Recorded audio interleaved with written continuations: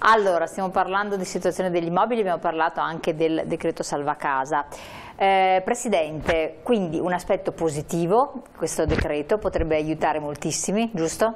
Sì, siamo sicuri che darà un rilancio per quanto possibile alla compraventa degli, degli immobili, proprio perché può mettere sul mercato immobili che viceversa avrebbero delle difficoltà. Allora, ci sono tanti immobili che hanno difficoltà, ne parlavamo prima fuori onda, no? Anche, anzi, con buona fede del proprietario, legittimamente con buona fede, perché tante sono case ereditate ormai, abbiamo tutta la generazione di coloro che hanno ereditato gli immobili, tante sono case dove si sono apportate delle modifiche interne eh, tranquillamente senza porsi troppi problemi, perché tanti fanno il ragionamento, dentro casa mia potrò mettere una, un muretto, potrò buttare giù eh, una parete ampliare una stanza stando dentro le pareti di casa, ma non è così. Non è così, siamo nella società del controllo. eh, beh, eh, cogliamo l'opportunità di re regolarizzare. Ecco, volevo sottolineare questo però. Eh, è una regolarizzazione, come avevamo detto prima, non è un condono e si può regolarizzare il regolarizzabile. Mi spiego meglio, parlo da avvocato, entro in un settore sì. che, è, che, che, che è mio. Quando eh, si acquista un immobile o si fanno dei determinati lavori, eh, di solito si trova sempre la clausola fatti salvi i diritti di terzi. Quindi teniamo presente che ci sono delle situazioni dove non sono, stati, eh, rispettati, eh, sono state rispettate le distanze del confine o si è andato a violare un, un diritto di, di, di, un vicino. Ecco, queste non sono situazioni regolarizzabili. Quindi è Tutto quello che riguarda il proprio, insomma, che non va... Dove ci sono delle situazioni, delle sfumature, delle sbavature che rendevano difficile la vita al proprietario, si possono regolarizzare, non, non, non, non, eccediamo però perché eh, i, i, diritti di un soggetto si fermano quando cominciano i diritti di un altro, quindi i diritti di terzi vanno comunque salvaguardati. Però appunto devono essere non, rilevanti come diceva l'architetto perché ovviamente eh, l'apertura, la chiusura di più finestre potrebbe cioè andare oltre quello che è permesso no, della, della, percentuale consentita. Bisogna vedere caso per caso, e, gi giustamente l'architetto Cavo chi dice non possiamo generalizzare, no, andare a vedere caso per caso. Per esempio un, una veduta, eh, c'è una questione di, di, distanze anche da, da, da, dal, dal confine, per cui va a, al di là di, di questo decreto va vista, va valutata la questione civilistica Certo. Per cui, eh, torno a quello che ho detto proprio un, un attimo fa, si può regolarizzare il regolarizzabile e quindi e insistiamo, va presa situazione per situazione.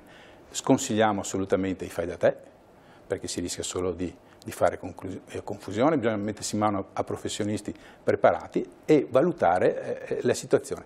Restano fermi comunque i, i capisaldi, io parlo da avvocato, civilistici cioè, posso aprire una finestra che dà, cioè la posso regolarizzare, ma non, non, è, non, ha un effetto sanante rispetto al vicino se gliel'ho fatto proprio al confine. Ecco, quindi sono Chiaro. situazioni che vanno controllate di volta in volta. Assolutamente. Una persona una volta che ha fatto una verifica con, facendo, autorizzando un professionista l'accesso agli atti può decidere di non sanare, certo. una volta calcolato che magari non ha voglia, non ha soldi per tirarlo per sanarlo, giusto?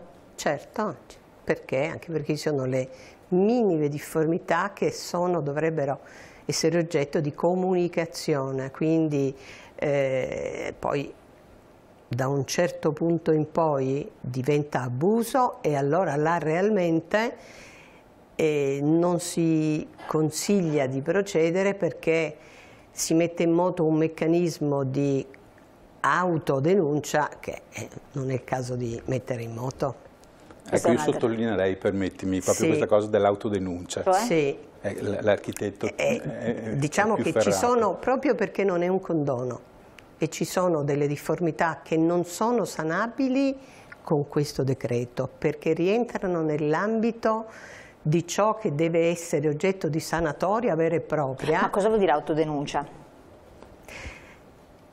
Eh, se io ho un immobile in cui eh, ho chiuso una veranda, per esempio, no? È diventato sì. Mm. Ho fatto diventare eh, un balconcino un volume. perché se chiudo un balconcino io ho realizzato una stanza. Se, non le sto a raccontare tutti i parametri, comunque, se quel volume che io ho fatto in più non mi è consentito perché il mio immobile ha saturato tutta la volumetria che aveva a disposizione, io quella veranda che ha fatto diventare un balcone stanza non la posso sanare. È un abuso insanabile. Ok. Oppure magari c'è una situazione intermedia per cui ne posso sanare un pezzo e posso spostare la veranda e ampliare la stanza cui, su cui affaccia la veranda. Certo, Insomma, sì, sì. però, come dicevo prima, ogni caso va studiato. Se io metto in atto una procedura di richiesta eh, di attraverso per esempio il decreto, il, questo, il decreto salva casa, nel momento in cui io ho protocollato dei documenti, il percorso non lo fermo più di sanatoria. Quindi Quella viene, è viene un'autodenuncia. Certo, viene questa non è una sanatoria, eh, dagli atti emerge che invece magari è un Esatto, abuso. Quindi la persona si è autodichiarata. Esatto. cioè, Ed però è per nel- questo che le cose vanno fatte con attenzione e con criterio. E il professionista che dice attenzione che muovendo queste, queste pedine Sì. vai a toccare determinate cose. Esatto. Magari io, eh, proprietario di un immobile, voglio, mi rendo conto che ho delle piccole diversità, difformità e voglio sanarle, chiedo a un tecnico di quantificare Esatto, la differenza e magari nell'analizzare la situazione il tecnico si rende conto che ce ne sono delle altre che non erano evidenti che invece comporterebbero una sanatoria eh, vera e propria e quindi in quel caso bisogna valutare tutti gli Certo. aspetti perché nel momento in cui si mettono in moto meccanismi di sanatoria non si possono più fermare, la pratica non si può ritirare. Perfetto, e allora ancora di più occorre avere un professionista che dice qua ti conviene, ti conviene muoverti entro quest'ambito di azione o non muoverti proprio. Esatto, ecco, poi permettimi di sottolineare altri due particolari. Innanzitutto il limite temporale. Eh, oggi si possono regolarizzare gli abusi fino al 24 maggio, correttami Esatto. se sbaglio, de- di, di quest'anno. di quest'anno.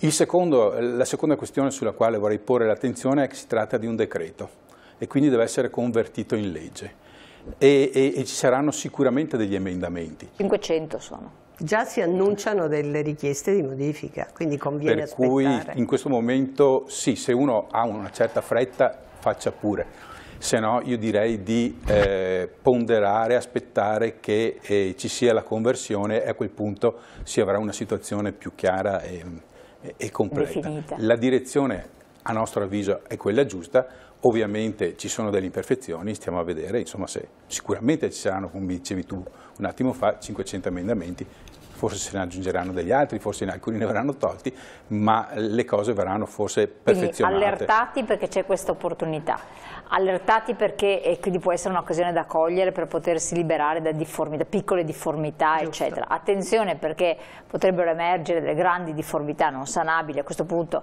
a non met- fare il passo più lungo della gamba se non si vuole eh, Avere altri rischi. avere altri problemi, oppure se uno vuole di- dichiarare un abuso perché vuole togliersi dal problema lo deve fare con le dovute eh, attenzioni Esatto. naturalmente e modalità poi tra l'altro perché penso che anche qua ci sono delle modalità ben precise e, e quindi tutto step by step. Adesso siamo alle fasi iniziali, poi vedremo come, come andrà a concludersi. Esatto, anche perché noi come Confedilizia diciamo beh, questo termine del 24 maggio anche no, insomma perché eh, Quindi voi avete posto delle eccezioni. abbiamo posto delle eccezioni. Tipo? Adesso non, non- andare più sullo specifico perché io faccio l'avvocato, tu lo sai io. Sì, giusto, è vero, giusto, Sì, è vero, è vero, è vero. Allora, relativamente al discorso, quindi abbiamo ap- aperto questa parentesi, l'abbiamo approfondita con l'architetto, è stata molto importante. Eh, io volevo anche trattare insieme il discorso delle locazioni brevi. Ne abbiamo già accennato, adesso poi col periodo estivo tornano in auge perché... Sì, eh, le locazioni sono- brevi vanno molto e vanno soprattutto nelle città turistiche, Padova ne è un esempio, ma, ma non solo. e sono, anche questo io parlo di opportunità. Il proprietario, eh, allora mh, apro una parentesi che a me piace molto, noi come Confedilizia puntiamo molto anche sull'aspetto culturale, teniamo anche un sacco di incontri dove vengono giù autori che parlano di, dei valori della proprietà e dei valori della, della, de, della libertà. E sabato l'altro abbiamo avuto un incontro dove c'era un, un, autore che presentava un libro interessantissimo sul politicamente corretto, sulla cultura walk. E a presentare questo autore c'ero io e c'era un carissimo amico, eh, Adolfo Morganti, che è sammarinese e, e, e, da buon sammarinese, come molti sapranno, San Marino è, delle, è la più vecchia repubblica uh, al mondo e lui citava uh, il motto di San Marino, che non lo riporto in latino avendo, non avendo fatto io studi classici, che diceva è uomo libero chi non deve niente a nessuno. E, e Ecco, il proprietario è uno che non chiede niente a nessuno, non chiede il reddito di cittadinanza, chiede solo che gli venga lasciato il suo immobile che gli dà un senso di indipendenza. Per cui il proprietario, se coglie l'occasione di affittare con affitto breve, non dovendo passare sotto le forche caudine poi di uno, di uno sfratto, perché sappiamo tutti benissimo che quando andiamo in locazione un immobile, poi non è detto che ce lo restituiscano, non è detto che ci paghino l'affitto e non si sa mai in che condizione ci viene restituito. Quindi molti hanno approfittato della possibilità di dare in locazione breve il proprio appartamento.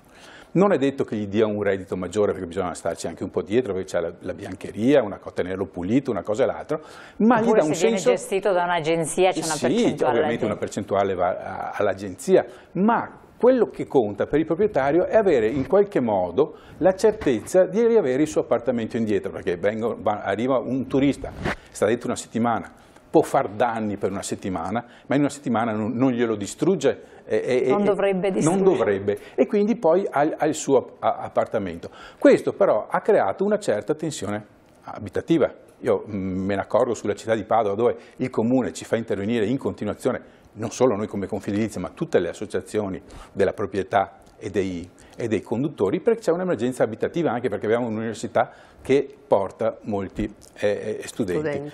Quindi cosa succede? Che eh, il legislatore secondo noi anche su pressione della Federalberghi, vuole in tutti i modi eh, diciamo, ridurre l'impatto delle eh, eh, locazioni brevi. I dati invece che ci vengono da Confedilizia, proprio della settimana scorsa, eh. ci dicono che il turismo in questo momento in Italia sta andando molto bene ed è trainato proprio dalle locazioni brevi. Allora ci chiediamo, eh, ma perché questa assurdità di voler, eh, diciamo in qualche modo, eh, ridurre le possibilità dei proprietari di mettere a reddito, come è giusto che sia, il loro bene, senza essere indicati come gli autori, gli untori, come nella storia della colonna infame del, del Manzoni? E, e andando addirittura a ledere l'economia perché l'economia ne, tra, ne, trae un grosso giovamento e spesso ci fanno l'esempio ad esempio di città come Barcellona, ad esempio anche a New York vogliono eh, vietare, no, sì. no, eh, eh, vietate le, le locazioni eh, brevi.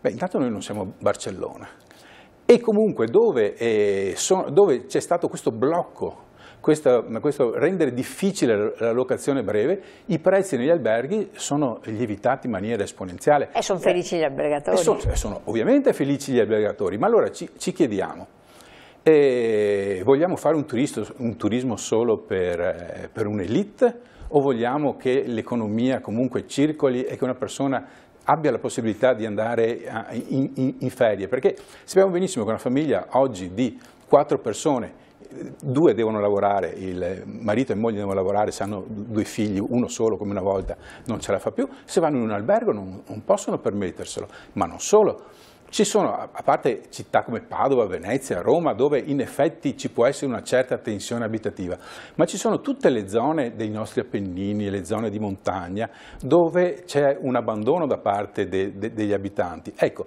la possibilità di darle in locazioni brevi vuol dire rivitalizzare tutti questi borghi. Quindi riteniamo assolutamente assurda questa eh, voglia di eh, diciamo, tagliare le ali ai, ai proprietari.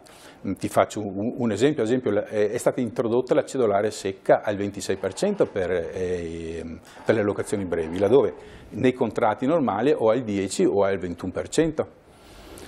Eh, oltre i quattro appartamenti dati in locazione uno diventa imprenditore con tutti i problemi che ci sono nel fatto di essere imprenditore. Quindi eh, noi ci battiamo come associazione perché un proprietario abbia il diritto di poter gestire i propri immobili come vuole, perché ripeto, non, non chiede nulla a nessuno, è proprio un senso di libertà. E qual è il problema? Che eh, l'Italia è un unicum rispetto agli altri paesi, perché non si trova in nessun altro paese al mondo una proprietà di, diffusa, perché dal 75 all'80% degli italiani sono proprietari. Ma essendo così frammentate è difficile da controllare. E quindi è difficile da, da, da governare. Essendo in una società del controllo, eh, questa può anche dar fastidio.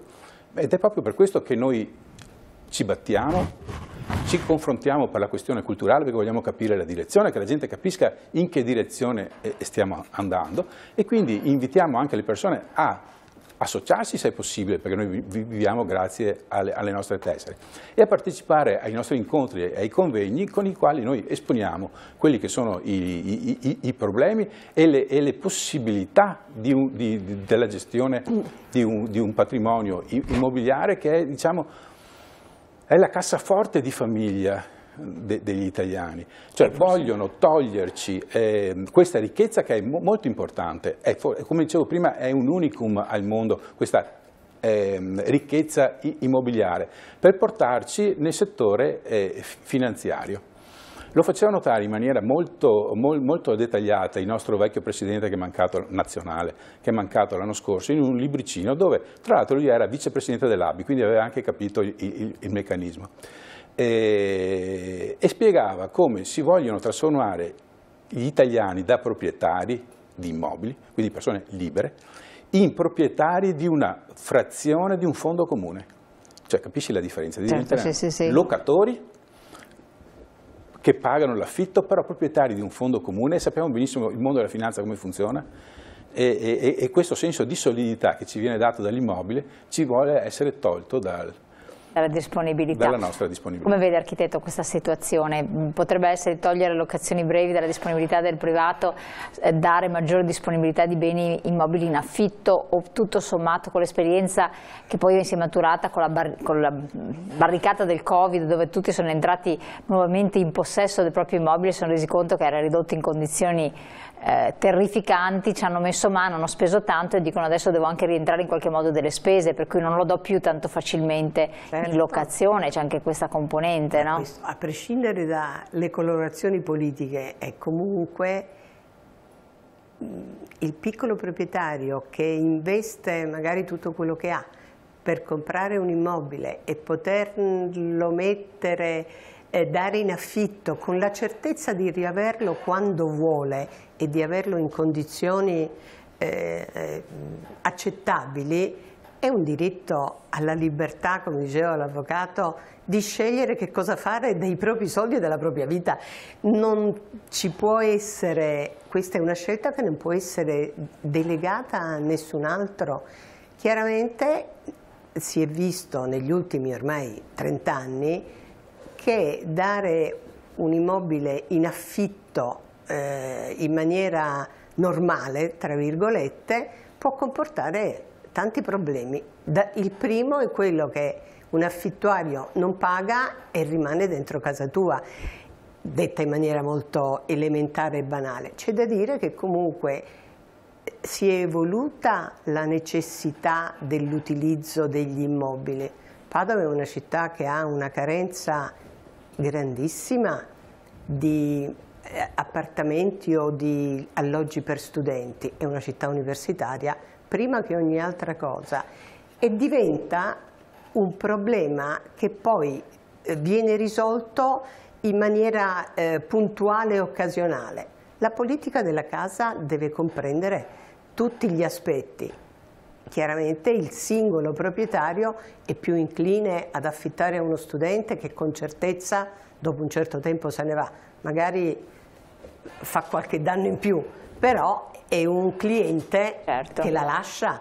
E prima o poi la lascia, certo. Eh. Allora, siamo giunti al termine. Io vi ringrazio, grazie Avvocato Antovani di essere stato grazie qui con noi, Presidente Confedilizia Padova, grazie all'architetto di averci supportato Grazie anche nel scoprire eh, i meandri di, appunto, di questo decreto salvacasa di cui naturalmente avremo modo di parlarne anche magari dopo l'estate, grazie a voi di averci seguito durante questa trasmissione e naturalmente ci vediamo presto, buon proseguimento, buona serata.